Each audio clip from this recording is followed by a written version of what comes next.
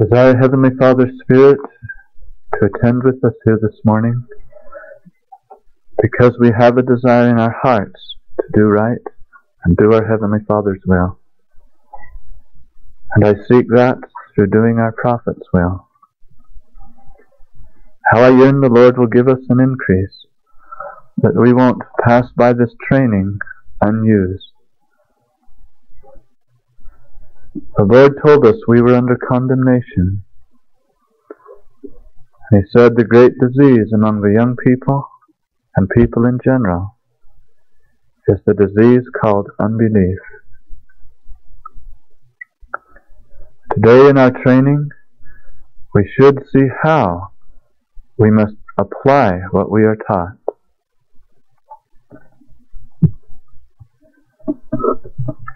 The first step of faith is belief. And that is usually how far most people go. They say they believe.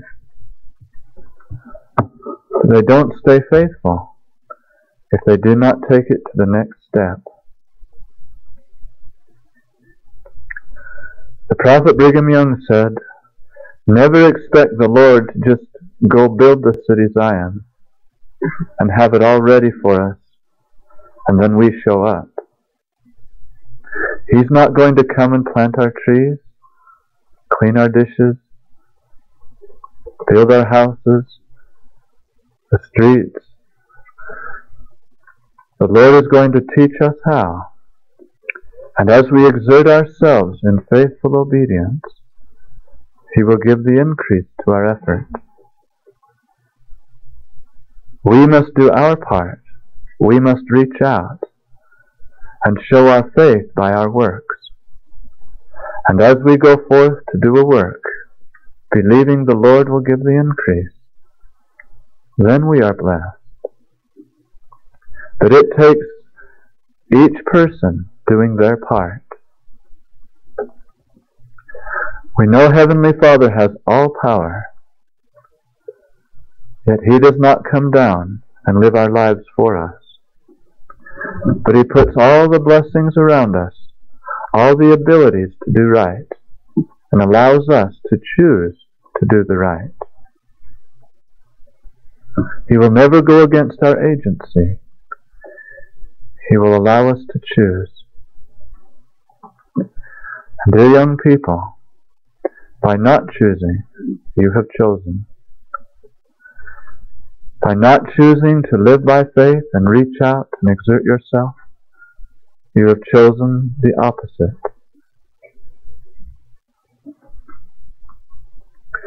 Faith is the first principle of the gospel, or the way of life by which we accomplish all other good. Faith is exerted through prayer, and it is shown by obedience. How does a man work when he works by faith, says the prophet Joseph? We understand that when a man works by faith, he works by mental exertion instead of physical force. It is by words instead of exerting his physical powers, with which every being works when he works by faith. What kind of situation can you tell where faith is stronger than force, physical force? I offer you this challenge. A test to see if faith is stronger than force. In your family, perhaps you have someone you don't get along with as well as you should. There's always a fight or feelings. Force is calling to your aid an evil influence. Fighting is an evil influence, forcing the other person to think the way you do or give in to your will. But just try the greater power. That person you usually have a struggle with. Go ask Heavenly Father to bless you to get along with that person. Ask Him to bless that person and tell Him you're willing to do whatever you need to for Him to give the increase. Faith is trusting in a greater power than ourselves. And then you go and do your part and watch. All the arguing will stop. And you will finally see your friends right within your own family.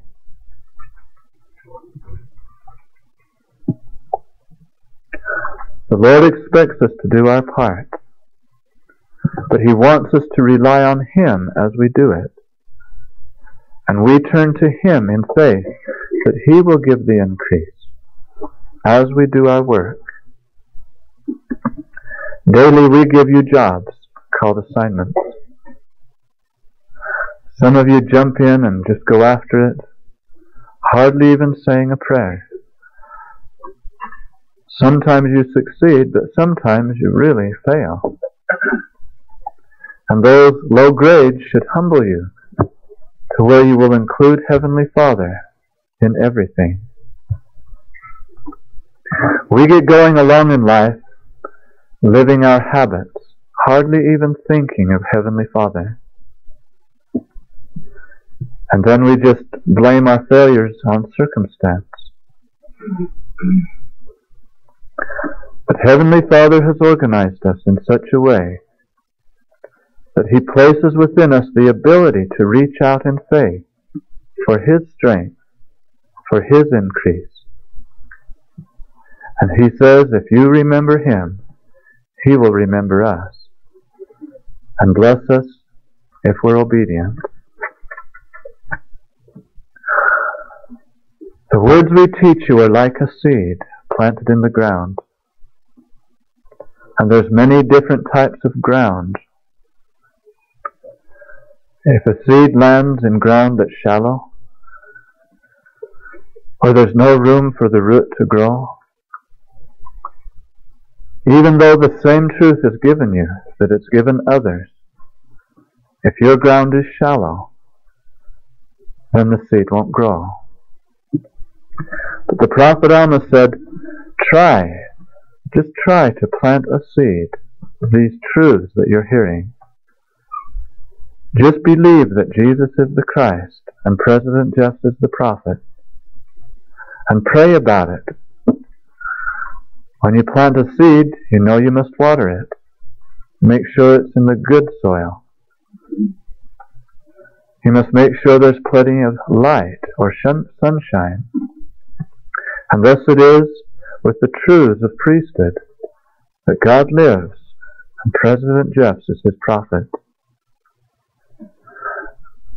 The light that you feed it with is the words of the prophets.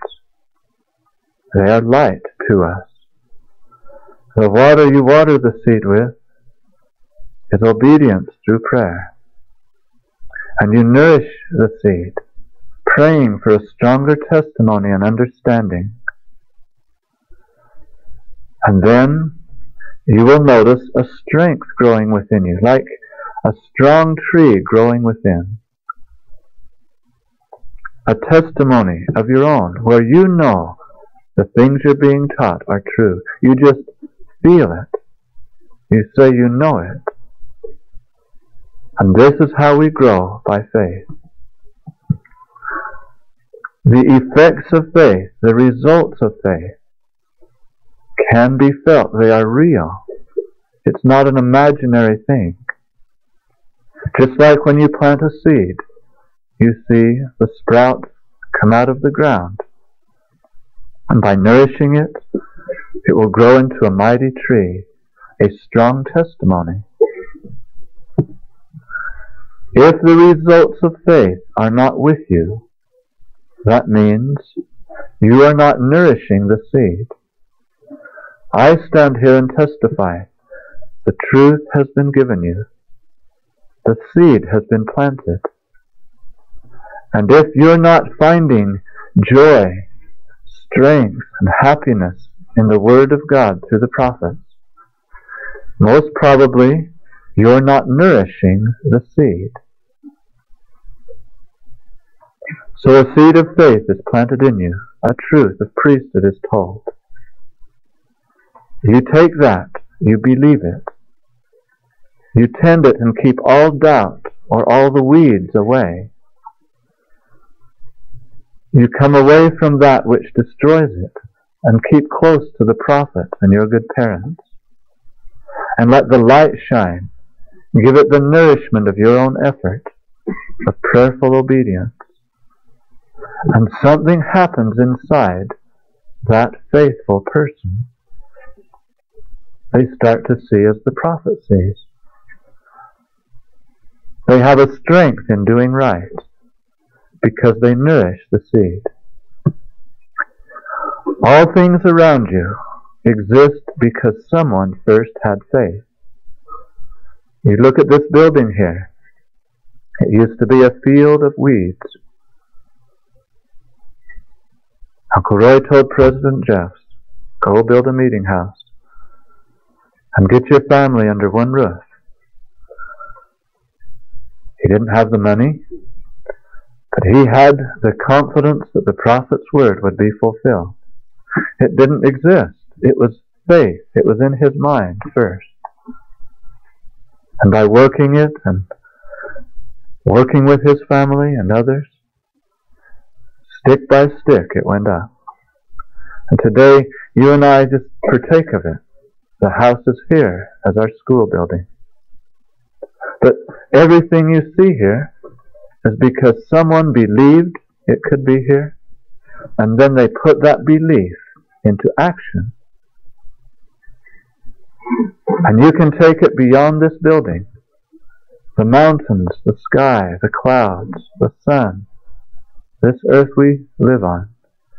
All things that exist are because someone first believed and then went forth to obey and follow that belief with good works. Until Heavenly Father gained all knowledge, until he can say his prayers and command the elements, and they obey. All things around us are the result of faith in an intelligent being. And thus it is with us. There are a few sentences I want you to underline in this lecture. Follow along with me.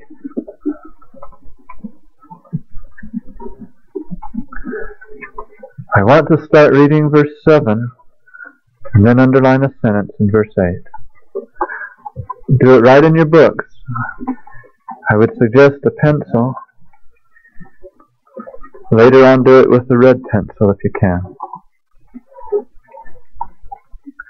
Therefore it is said, and appropriately too, that without faith it is impossible to please God. If it should be asked, why is it impossible to please God without faith? The answer would be, because without faith it is impossible for men to be saved. And as God desires the salvation of men, he must, of course, desire that they should have faith. And he could not be pleased unless they had, or else he could be pleased with their destruction. From this we learn that the many exhortations which have been given by inspired men to those who had received the word of the Lord to have faith in him were not mere commonplace matters. The subject of faith, obedience, is not just a a side issue. This is the important thing in life. But were for the best of all reasons, and that was because without it, without faith, there was no salvation, neither in this world nor in that which is to come. Please underline this next sentence, for this summarizes this principle of faith and the lectures on faith. When men begin to live by faith, they begin to draw near to God. And when faith is perfected, they are like Him.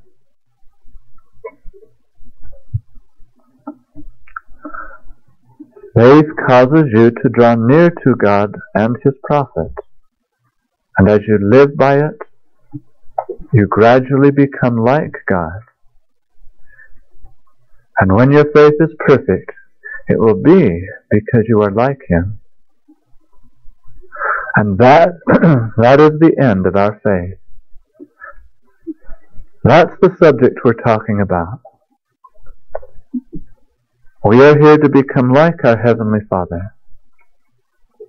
And because He is saved, they are saved also.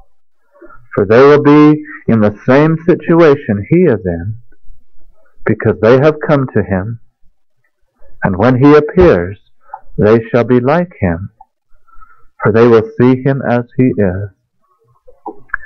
You know, people go on a spurt for a while.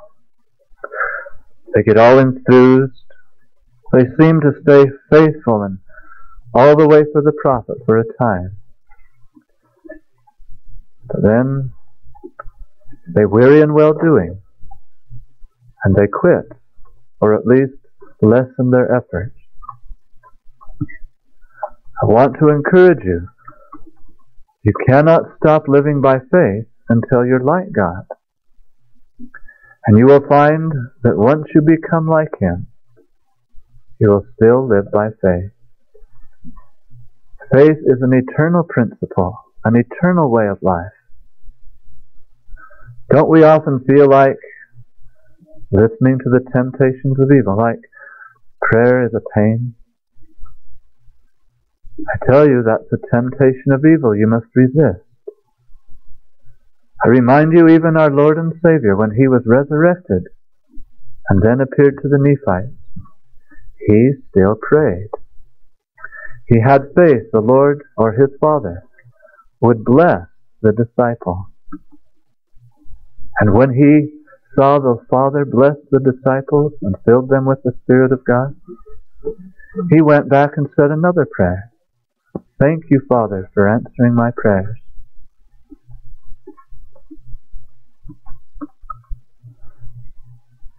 So do not weary in saying prayers. And usually, people weary because they don't see a result, the result of faith. And that is because they're not exerting their faith right. Faith exerted properly will bring forth the right result. Now reading down verse 9 talking how all things are the effect of faith. He asks the question, what is the difference between a saved man and one who is not saved? And right in the middle of that paragraph, underline this sentence. And what constitutes the real difference between a saved person and one not saved is the difference in the degree of their faith. One's faith has become perfect enough to lay hold upon eternal life, and the other's has not. Underline that sentence. He asks, where can we find a saved being or a prototype, an example? And he gives another truth I want you to underline. Bottom of page 43. We think it will not be a matter of dispute that, and underline this part, two beings who are unlike each other cannot both be saved. Underline that phrase. For whatever constitutes the salvation of one will constitute the salvation of every creature which shall be saved. And he asks, Where should we find a saved being? His answer, We all agree it is our Lord and Savior, Jesus Christ. Why is he saved? It is because he is a just and holy being. And I want you to underline this next part, top of 44.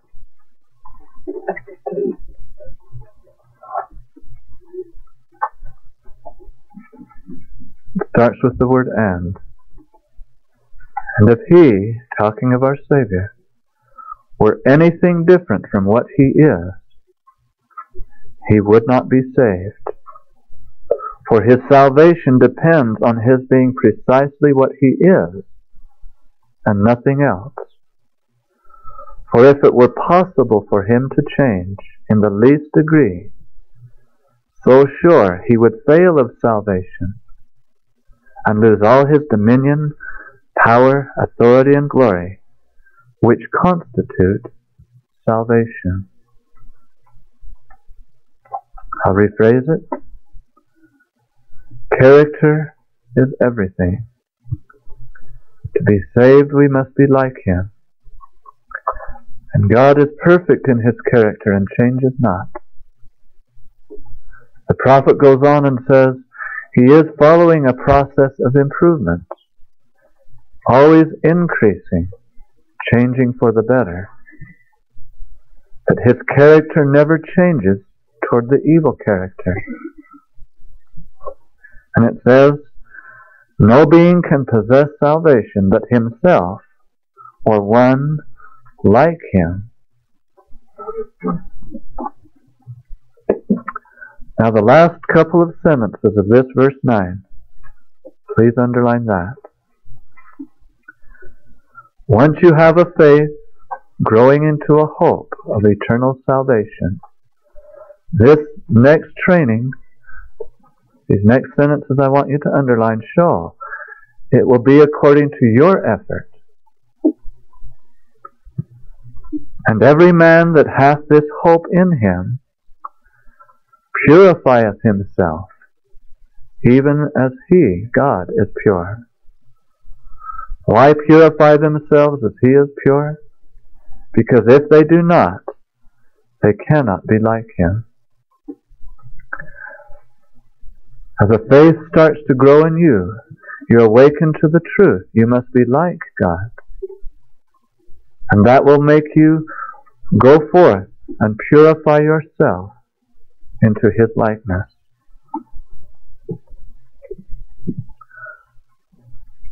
He goes on to say, No being can enjoy the glory of God without possessing His perfections and holiness. Then the prophet Joseph explains that the Father and the Son are one. And they are one because they are alike and filled with the same Spirit, or the Holy Spirit, the mind of the Father. Going to verse 15. About the third line down, underline this phrase. Talking of the Father and the Son, being perfect in their character and attributes.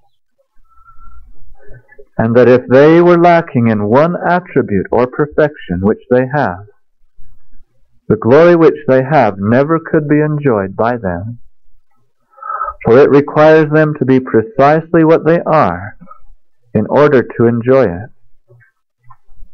And if the Savior gives this glory to any others, he must do it in the very way set forth in his prayer to his Father, by making them one in him, as he and the Father are one.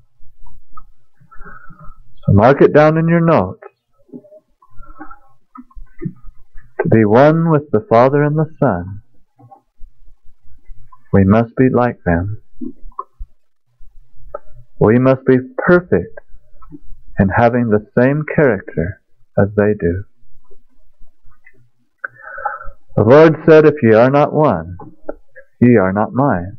If we're rebellious, won't exert our faith unto perfect if we're unwilling to change to the great gift of repentance, we are not His. He will reject us.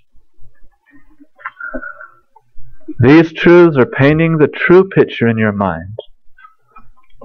That the work we're part of is a lifelong labor of becoming like God. And it's done by the little actions, moment by moment.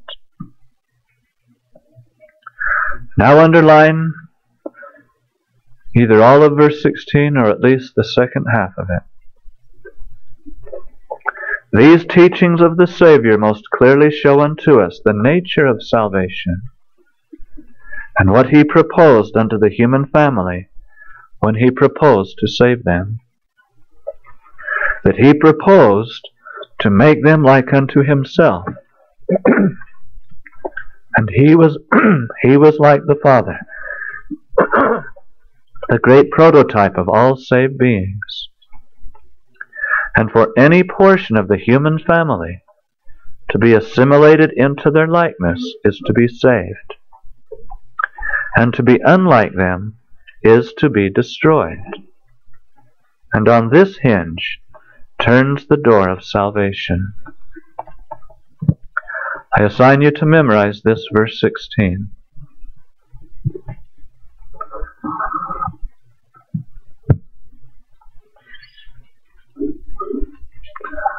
I'd like you to underline a few verses, or a few lines in verse 17.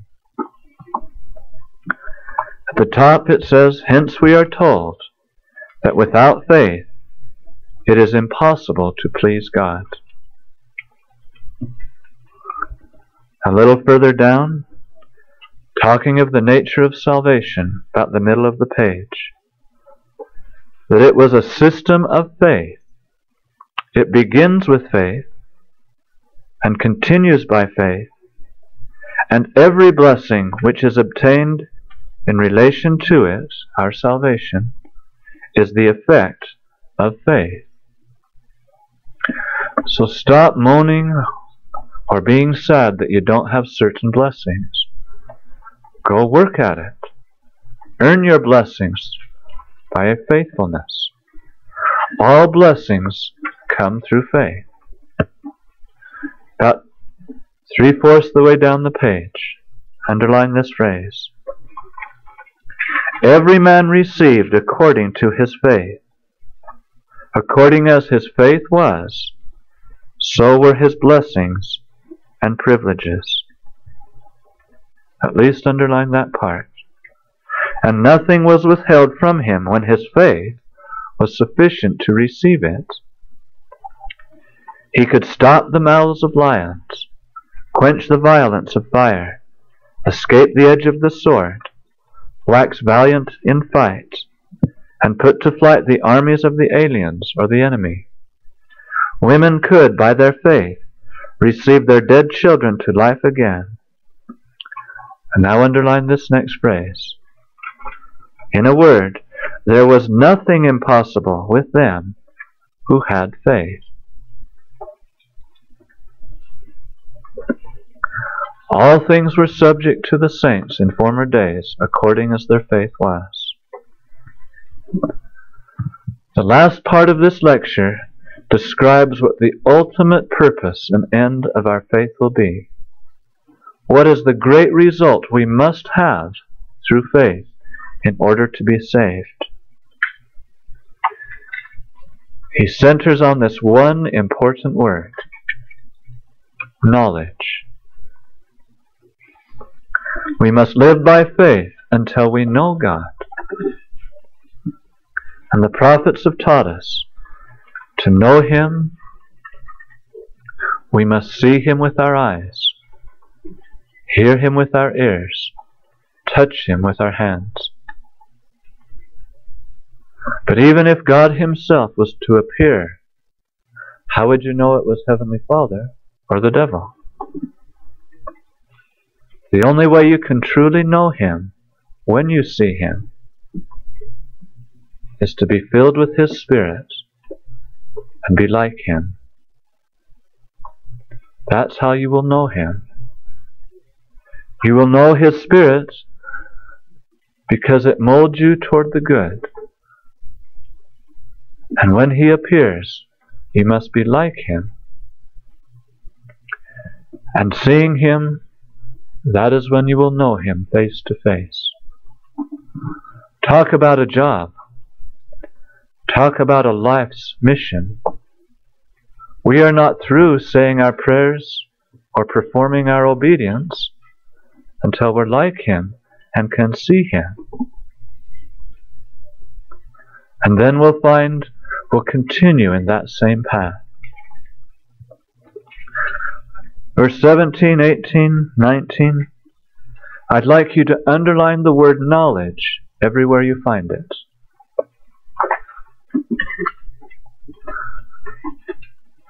I would like when we take our next morning class test to see these things are underlined. Bring these books and we'll walk around and take a preparation.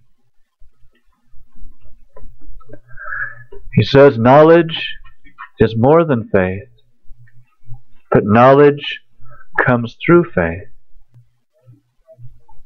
Knowledge implies more than faith.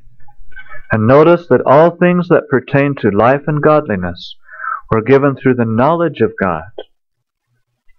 Through faith, they were to obtain this knowledge.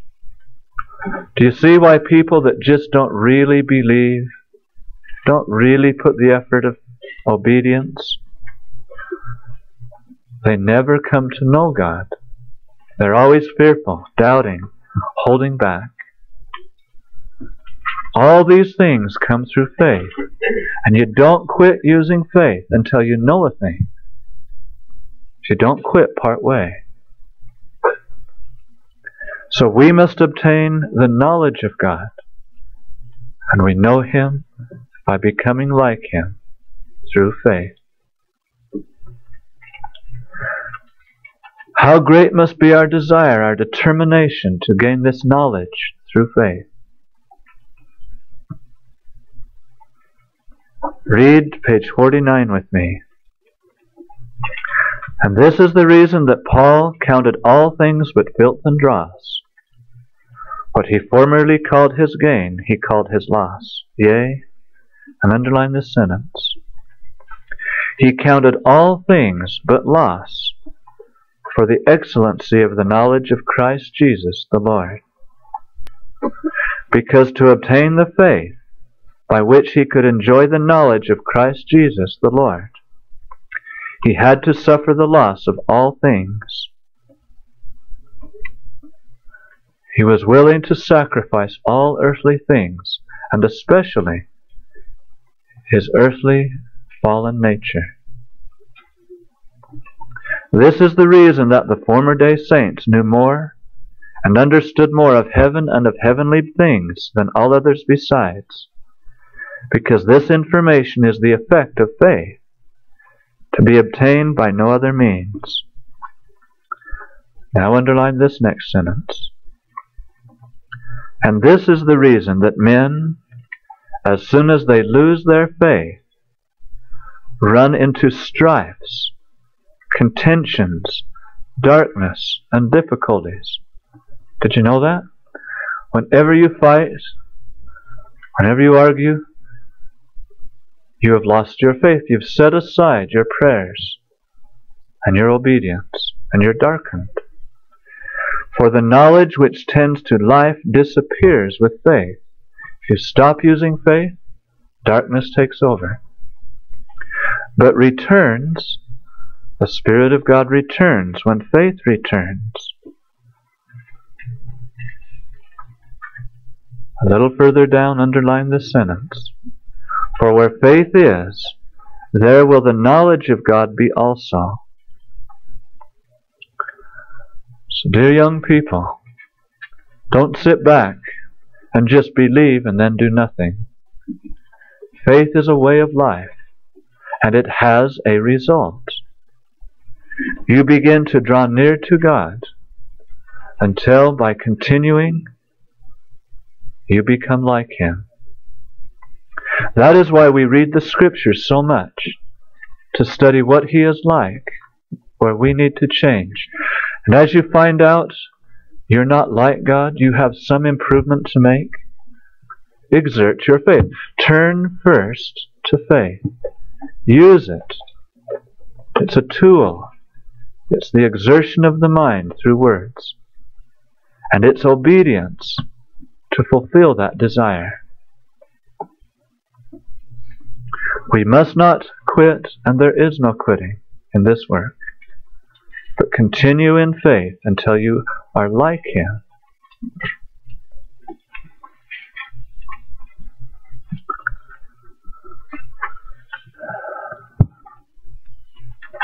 There's an event in your life that will yet take place for you to come into the presence of God. It is called having your calling and election made sure. For God Himself will appear to you and say, My son, thou shalt be exalted. And the women, they will be called forth into the Lord's presence through their husbands who are worthy of that blessing.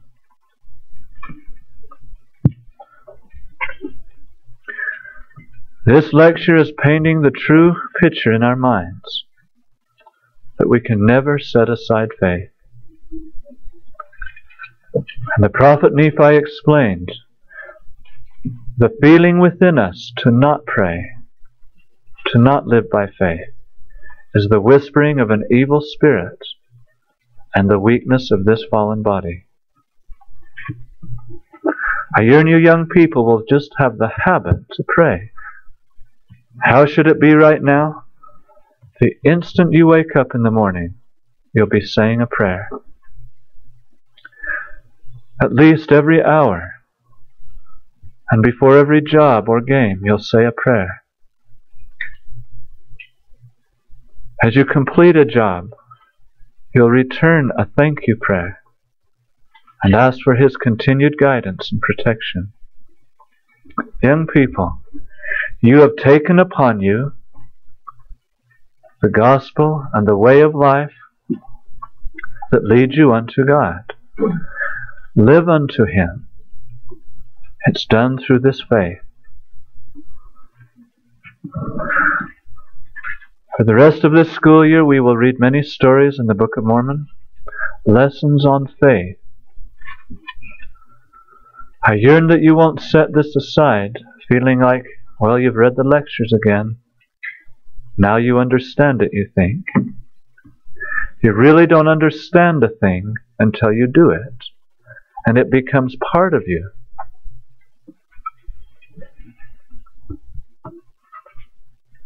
Please read the summary of Lecture 7 again tonight, along with Chapter 1 and 2 of Ether in the Book of Mormon. And we'll start into our Book of Mormon lessons tonight.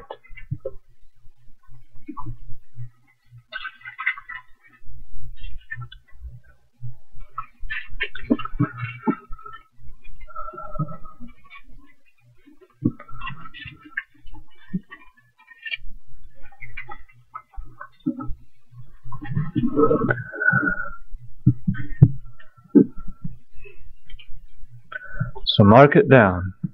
Faith is that inward energy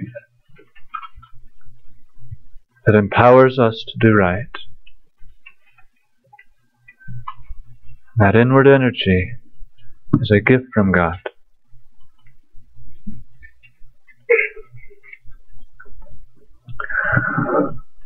Today, I'd like the 11th and 12th grade to go with Brother D. Jessop and process the meat for the storehouse.